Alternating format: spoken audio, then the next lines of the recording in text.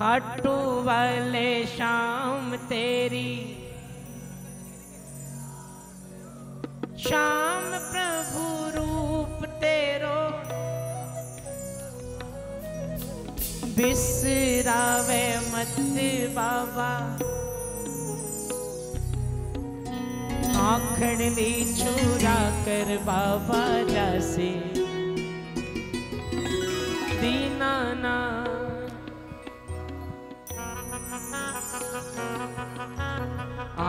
ली चूरा कर बाबा जैसे। आखड़ ली चूरा कर बाबा जैसे। मुझे चरणों से लगा ले मेरे शाम मुरली वाले।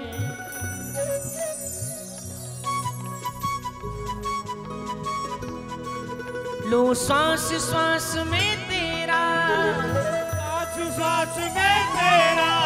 मैं नाम मुरली वाले मुझे चरणों से लगा ले मेरे शाम मुरली वाले।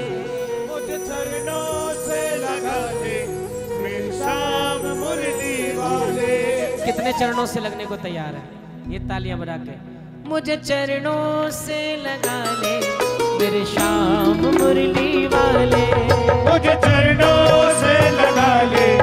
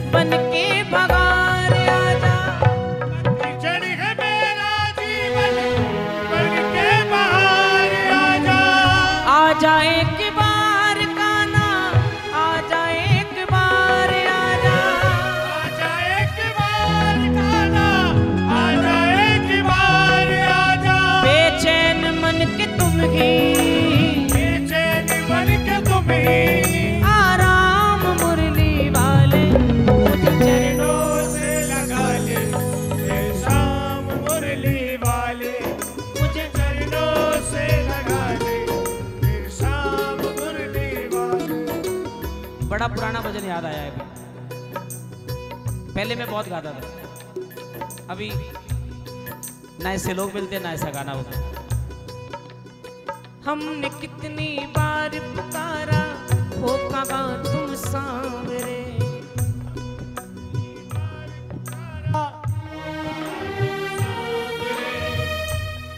जब जो सिचुएशन चल रही होती है ना लाइफ में तो वैसे शब्द अपने आप दिमाग में आने लगते हैं। हमने कितनी बार पुकारा हो कहा तुम सांवरे? तारा हो कहा तुम सावरे? आजा सवरिया आजा।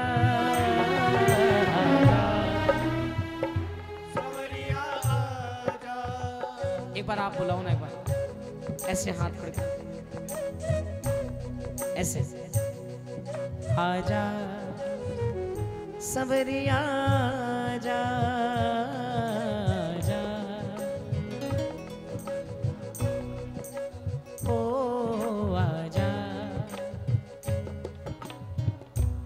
अच्छा आपने कभी पड़ोसी को बुलाया आजा? कभी कहा पड़ोसी को? आजा। क्यों नहीं बुलाया मुसीबत में? पड़ोसी को क्यों नहीं बुलाया? क्योंकि जानते हो। ये जो पड़ोसी है ना, ये आपकी मुसीबत में कुछ करेगा, नहीं करेगा, मज़े बढ़े लेगा। इसलिए आदमी कोशिश करता है, मांगो उसी से, जो दे, खुशी से। पंद्रह तारीख आ रही है, बेटा, ध्यान रखियो। हाँ मेरा जन्मदिन है, वो मुझे पता है। मांगो उसी से, जो दे, खुशी से और कहे ना, किसी से। ऐसा तो एक ही है बाबू जी बस। इसके अलावा दूसरा नहीं है।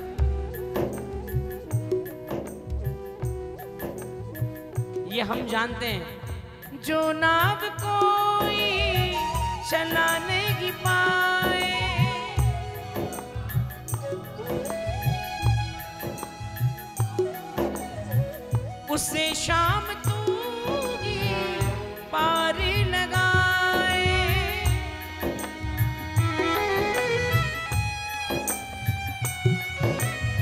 यगी के पेशा शाम तुम्हारा हो कहा तुम सांवरे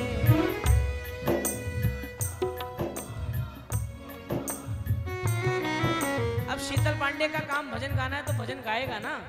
और आपका काम क्या है जिसका कोई नहीं, उसके आप। जब तुम्हारा काम यही है तो बाबा, अब मेरा कोई और नहीं है तुम्हारे अलावा। कौन कौन कहता है ये बात? यज्ञ के पेशा शाम तुम्हारा हो कहा तुम सांवरे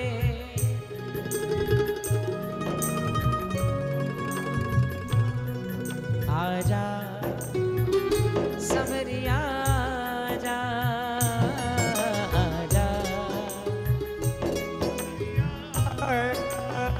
अब ये दो लाइनें बड़ी महत्वपूर्ण हैं।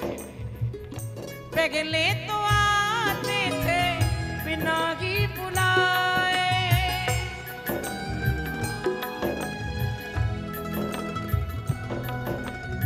पिछले छह महीने से बुला रहा हूँ उसको।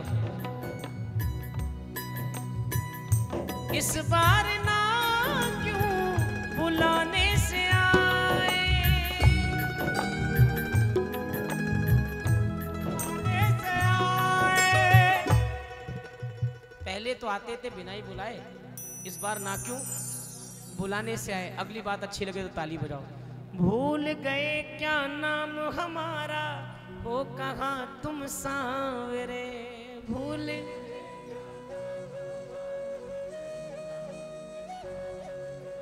आजा आजा।